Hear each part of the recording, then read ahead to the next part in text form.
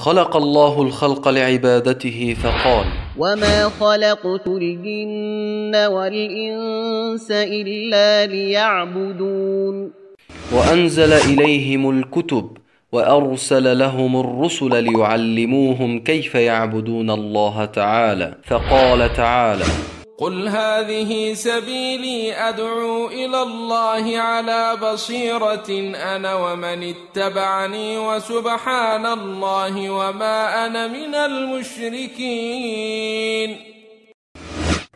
وأنت تريد أن تعبد الله على بصيرة وتتبع الهدى بدليله وتستمسك بما أوحى الله تعالى ولكن لا تعرف من أين تبدأ تريد تعلم الدين بالطريقة الصحيحة ولا تتمكن من الالتزام بوقت. لا تجد في مدينتك معلما من أهل العقيدة الصحيحة.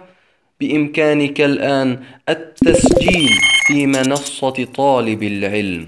منصة إلكترونية مجانية تقدم الدورات الشرعية من خلال الإنترنت.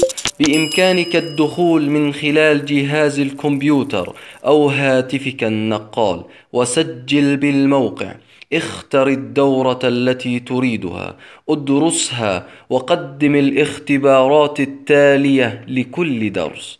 بعد نجاحك بالدورة احصل على شهادتك مباشرة.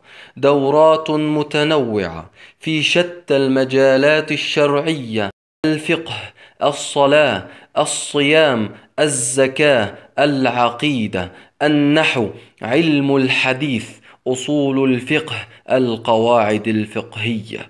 بادر بالتسجيل من خلال الموقع www.islamedu.com